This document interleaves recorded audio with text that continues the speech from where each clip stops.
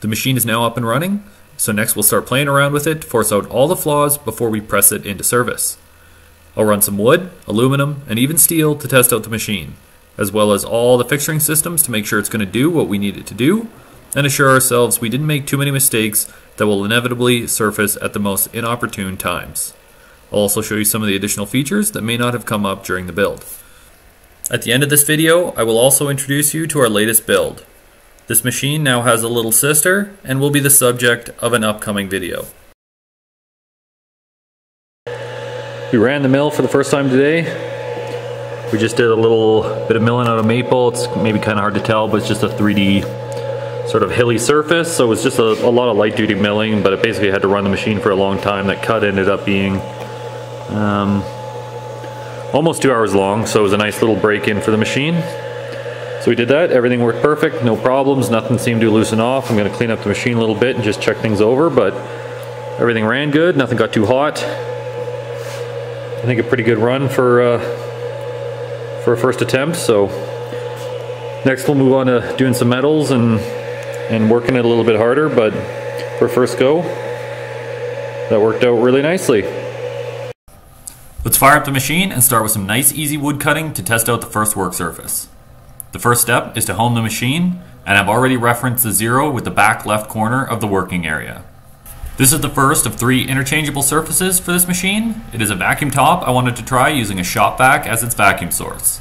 We cut this 3 quarter inch MDF top on our 4x8 CNC and it has the same bolt pattern as the machine.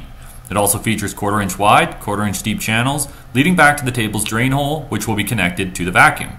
The top is easily reproducible and of inexpensive material so we can treat it like a spoil board and simply make a new one when it's worn out. We also made up some simple containment guards from some plexi and little wood pieces before we sort out a dust collection system. Once it's all mounted with some M8 fasteners, we can fire up the shop vac to see if it holds. I've always wanted to try this out, and I'm not sure it would work with all materials, and it may not be great for the shop vac, but there may be times when this is a handy little option for quick sheet cuts. We're going to test it out with some 3 8 MDF sheet and prepare for our first cut.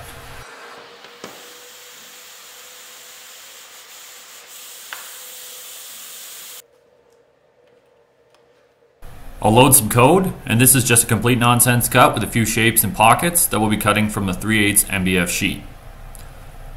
I'm using a quarter inch 2 flute upcut end mill for the cut.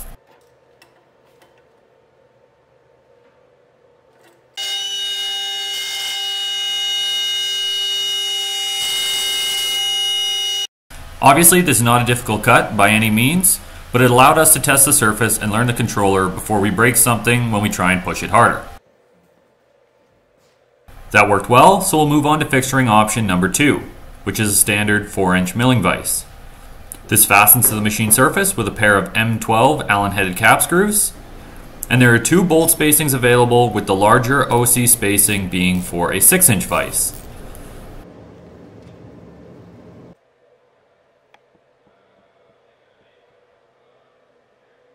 We will be milling another nonsense shape, this time from some aluminum square stock. As a disclaimer, this is the first time I've performed any CNC milling of metals. It is totally new to me and there's going to be a great many mistakes. I'm unfamiliar with the feeds and speeds, as well as the CAM software at this point, so there was a bit of a learning curve.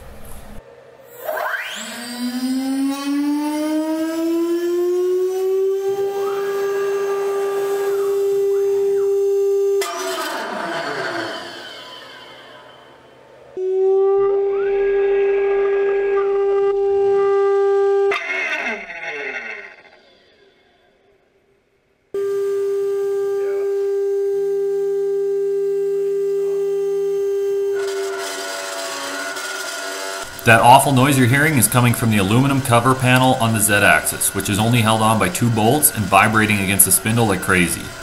This was fixed when we installed the new panels.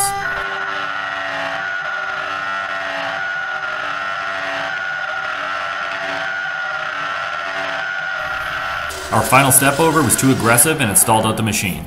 Followed immediately by poor code having the machine take a full depth of cut at 5mm step over. After a couple more crashes, we were able to complete the cut. There's some issues with my code causing it not to produce radiuses and arcs correctly, but it'll be a while before I figure that out. Next we're going to try and hook up the coolant system and try some more metal cuts. The coolant drains through that same hole we used for the vacuum system into a reservoir and pump system I borrowed from my hydraulic bandsaw. The coolant pump is controlled by the Masso and can either be manually or automatically started when the cutting cycle is initiated.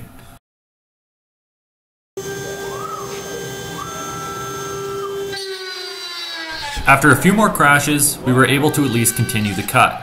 We don't have much for metal cutting end mills in metric, which is the only thing we can chuck right now, so we were trying to make do with some of our wood cutting carbide end mills. You can hear that there is significantly more resonance in cutting when the gantry is traveling. We were eventually able to trace this back to the mounting locations for the dual drive screws that run the gantry.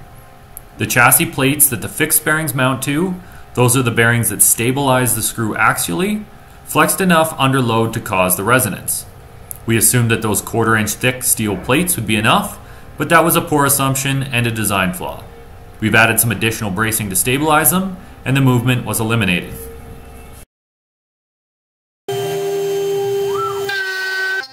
I'm trying to play around with some of Fusion's toolpath options as there are a lot of them, and at this point I don't really know what's best to use, so I'm trying a little bit of everything.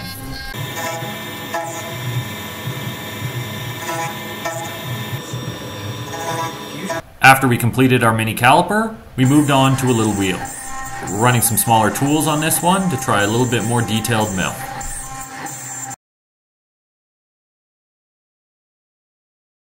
Nothing's loosened off. Good and stiff. We were checking for playing it today just with a dial deflection gauge and even when we're reefing on it, it doesn't move, so happy with that. So we'll keep playing around with it and see what else we can do. We are going to perform one more aluminum cut before we work up the courage to try some steel. All these cuts were performed in the same day, so make no mistake, I had learned almost nothing about CNC milling metals before deciding to start over and try my hand at some steel milling. We will be making the same dome as previous, but I dialed back the bites and slowed down the machine while also hoping for the best. This spindle is in no way designed or recommended for this type of work, but I wanted to try it anyway.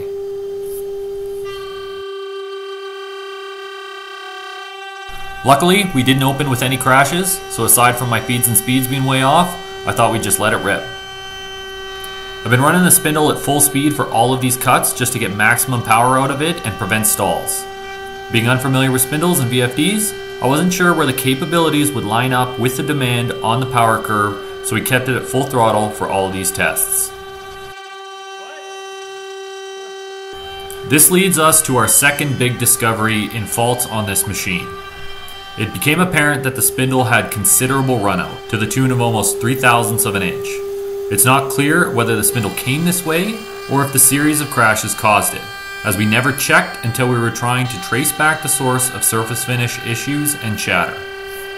Nonetheless, that is a significant amount of runout and is not good for neither the spindle, tools, nor the parts we are trying to create.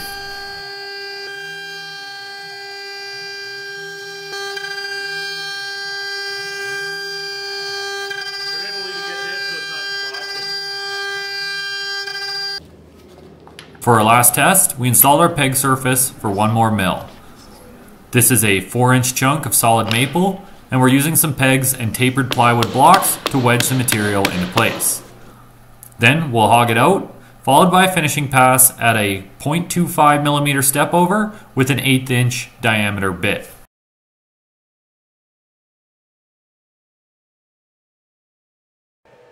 We've spent the last couple days playing around with the machine, and we're reasonably confident we have discovered and corrected all the major issues. The last task is to make and install the proper aluminum covers, so it looks pretty, and if we don't do it now, it'll never get done. The fitment of the panels is great, and I'm super happy with the way the whole build turned out. The final test will be what kind of service life we get out of it. It's going straight to working 60 plus hour weeks, so fingers crossed it works as good as it looks. As one final touch, we've made this magnetic dust boot and mount that will hook to our collection system. The fingers are made from clear PVC so we can see our tool, and it works half decent at containing the debris. I really appreciate everyone who took the time to watch this build and I hope it provided some useful information. We now have about 2,000 hours on this machine and I'll do another video talking about how it has worked for us over the last 8 months. This is our new machine and it was built to manufacture a specific product. It is fully enclosed and features a traveling table design, air vise, auto oiler, dustbin, and full air system all run from the same Masso controller. It's smaller, quieter, smarter, and faster at the cost of some versatility. I'm excited to demonstrate this one as well, so stay tuned.